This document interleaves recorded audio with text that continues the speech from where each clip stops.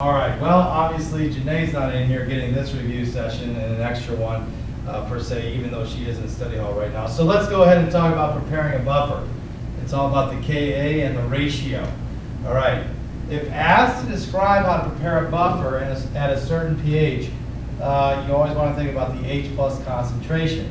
And of course, we know that that H3O plus is going to be that Ka uh, over the concentration of the acid divided by the concentration of the base. That's our super duper equation, right? That looks exactly like our super duper equation. You already forgot about it? What is wrong with you? Don't forget about the super duper equation. All right, so you may be asked to prepare a buffer. Obviously, you know you're going to need a salt of a certain anion, and you're going to need, uh, you know, a weak acid, or so forth. So let's say we'll use 0.1 molar to 1.0 molar solutions of uh, reagents and choose an acid whose Ka is near uh, the H3O concentration, H3O plus concentration we want. We know that, don't be confused, we know that this also could be H plus, don't freak out. This equals H3O plus. I know you're looking at me cross-eyed right now, but don't do that. Okay, uh, or its pKa should be as close to the pH desired as possible, and, the, and adjust the ratio of the concentration of the acid to the concentration of the base to fine tune that pH. All right, it's like tuning up the band. All right, it is the relative number of moles, not molarity. There's a big difference of acid slash conjugate base. Don't forget that this is conjugate base here. All right, conjugate base. And of course, you know that then that would have to be the conjugate acid. All right, that is important since they are in the same solution and share the same volume. This allows companies to make concentrated versions of buffers and let the customer dilute. This will not affect the number of moles present, just the dilution of these moles. So on the exam, never fall for the trick of what happens to the pH of the buffer solution after the addition of 250 mils of water. Yes, the acid and base are diluted, but the ratio is the same, and that is what matters in the buffer. Important, when equal concentrations of acid and base are present, which occur at, uh, which occurs at the half the equivalence point of the titration, the ratio of acid-base equals 1, and therefore pH equals pKa. All right. Let's go ahead and move on. Almost to some problems. I know you guys are, are anxiously waiting for me to do problems. So we'll do those problems in just a second. There are three types of titrations you'll be dealing with. Strong acid and strong base. Well, you got to know these net ionics. And guess what, folks? I'm going to go ahead and do another online review of uh, net ionics and the equation writing with the rest of the problems that we did in the other review session. Anytime you have a strong acid and a base, you make water. Everything else is a spectator.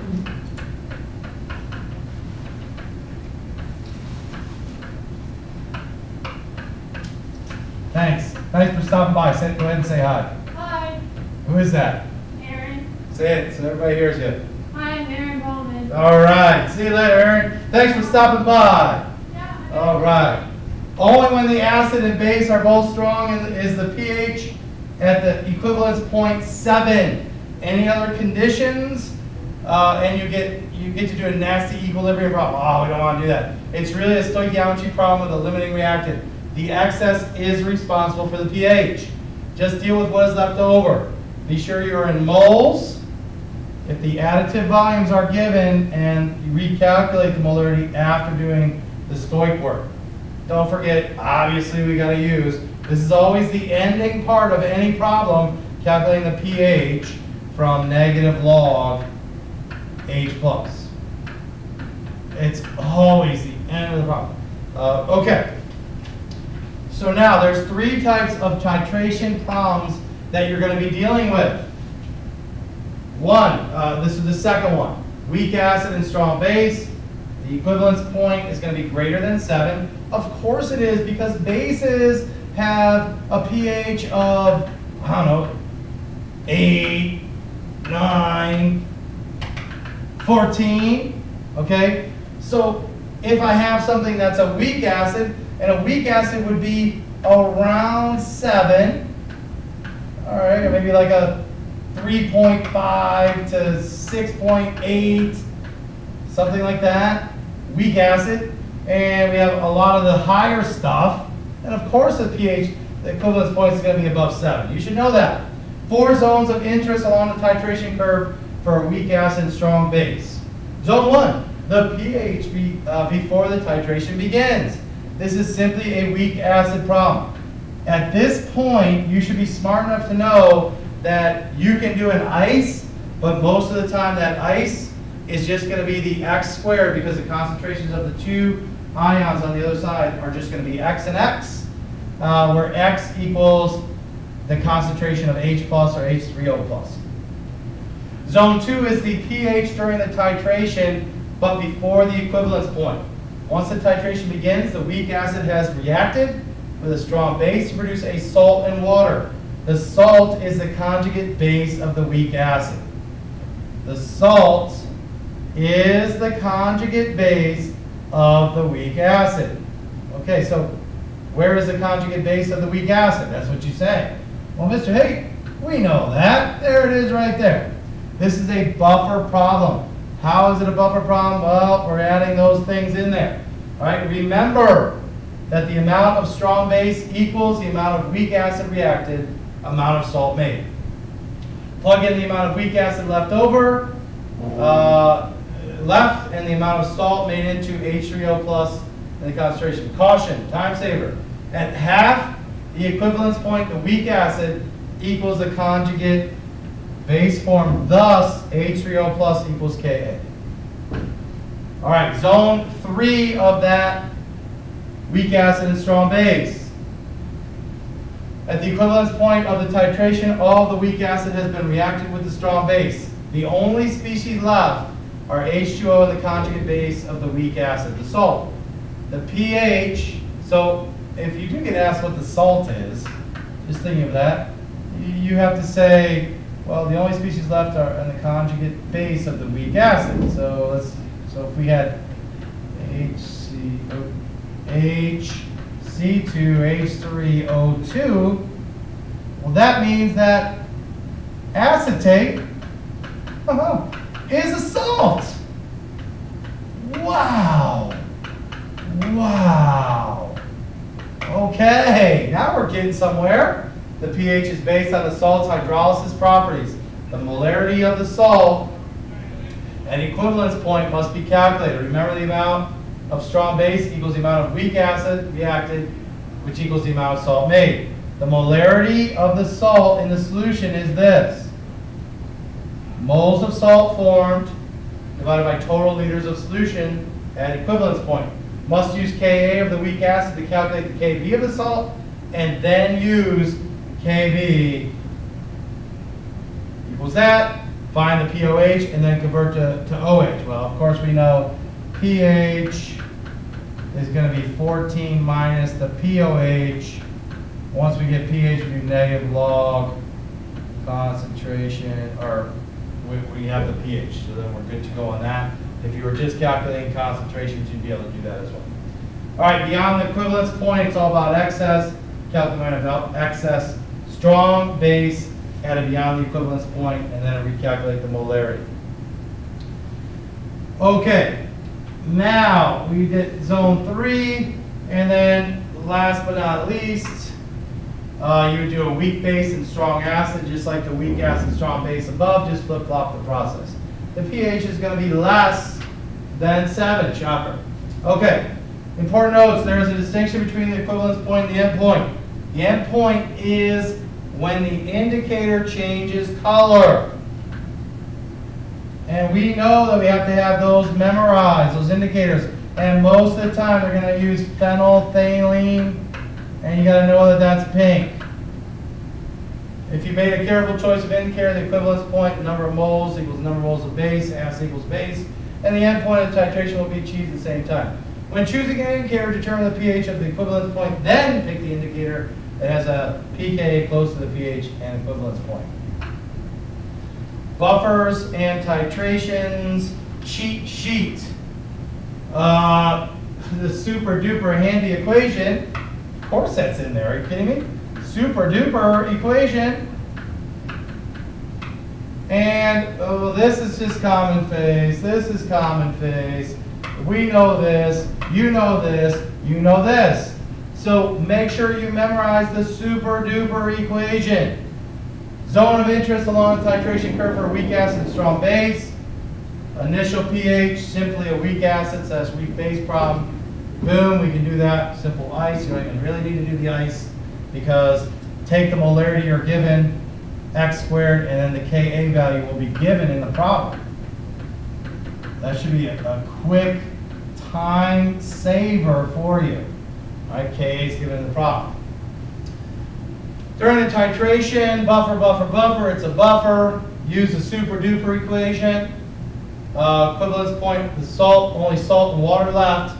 You gotta know that.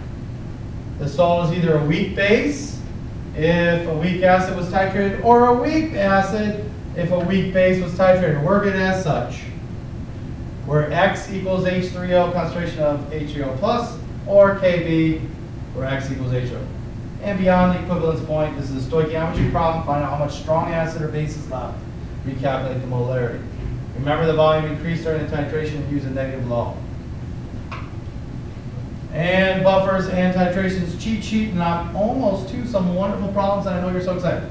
Be aware of the, the volume of a strong, uh, of strong added to the titration is halfway to the equivalence point. All right, uh, here where H, H3O plus equals Ka because concentration acid over the base is one, the same amount of weak acid and its conjugate are present. Huge time saver, an easy way to calc, find the Ka or Kb of the weak thing. No ice needed. If you don't even know what ice is, you should probably stop watching. All right, in the titration problem, always know the equivalence point, equivalence point. Buffers only need to use the equation this. And whose conjugate base and, and vice versa. Don't be tricked. Never select a strong acid or base as part of a buffer solution. It has to be weak. All right. When a buffer solution is attacked, remember, if the attacker is a strong acid, the base component is sacrifices and reacts to the invading acid, converting it to water and more weak acid, thus resisting large increases in pH, and vice versa for the hydroxide. All right. Equilibrium uh, and stoichiometry, potential pitfalls, knowing when to need Ka or Kb, recognizing the weak organic bases, be aware of when you have a weak acid, base or base is present that the conjugate out. Hello, you are in the buffer zone. You are waiting for me all to get to these lovely problems. Wow, I don't know if I could do this one, so I'm going to need a little help from my friends. Hey, hey Kermit, are you over there? Hey Elmo, hey buddies, how you doing? Big Bird, nice to see ya. Okay, hey Big Bird, do you know how we could write the equilibrium constant expression for the reaction represented above? Of course I do.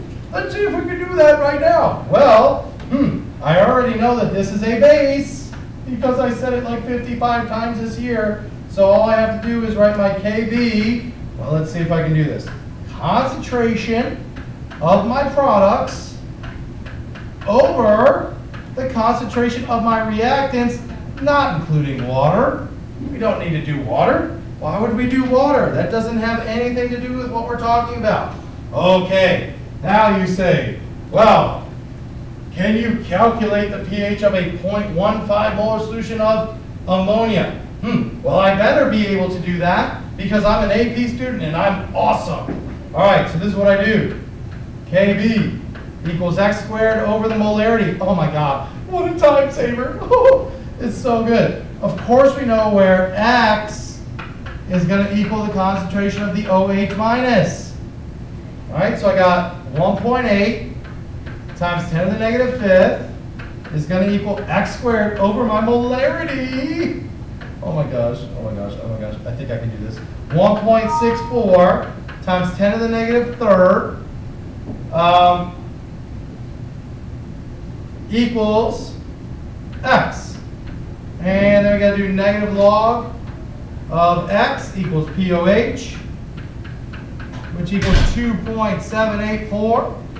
And we're gonna have our pH being obviously 14 minus 2.784 gives us a lovely handy dandy 11.216. Okay? Next.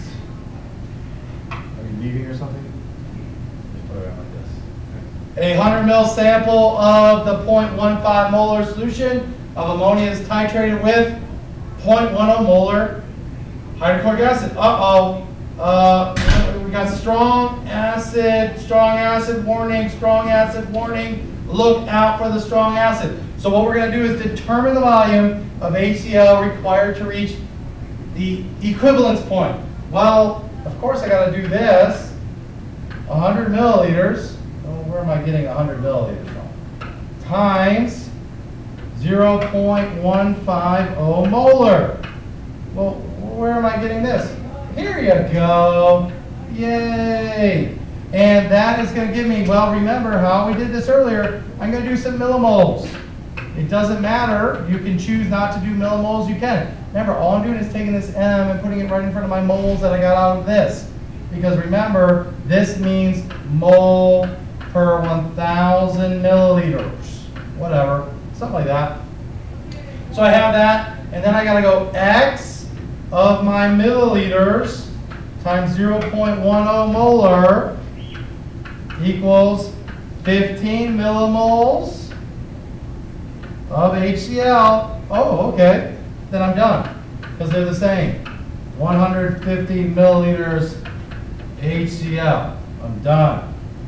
Alright, because these two matched up and they are the same. Alright, that wasn't really hard. All it's asking you is if you can actually calculate it. Make sure you know that this is HCl. I don't know what that looked like before. Alright, next. Calculate the pH of the solution at the equivalence point, the equivalence point. Well, we can do that, no problem. So what we're going to do is take our, uh, make sure we know at uh, equivalence point, the pH depends on the salt. pH depends on our salt. I said it like a hundred times in this video. Depends on salt NH4 plus. All right, so we had at at equivalence. I love saying equivalence because it reminds me of balanced electrons, in case anybody's wondering. 15 millimoles NH4 plus 250 milliliter total. Well, how are we getting that? Well, that's from the previous slide. Okay, we had to add those up. Therefore, what we're going to get is NH4 plus equals 15 millimole divided by 250 milliliters. And then, oh, all of a sudden I'm out of millimoles. There goes that thing, right? So now I'm back to moles per liter, 0.060 molar. So then I have to plug that in. Ka equals Kw over Kb. And that's going to equal 5.56 times 10 to the negative 10th given to me in the problem. And Ka equals x squared over m, where x is H plus or H3O plus, whatever, however you want to say it. I usually do H plus. So then I got 5.56 times 10 to the 10 equals x squared over 0.060. 5.57, oops, 5.77 times 10 to the negative 6 equals x. Negative log of x equals pH, which equals 5.24. Okay? That should be pretty easy. I didn't really do anything mind-blowing there. All right, so I'm going to pause it here because you're coming into class now. Have a wonderful week just made for you all.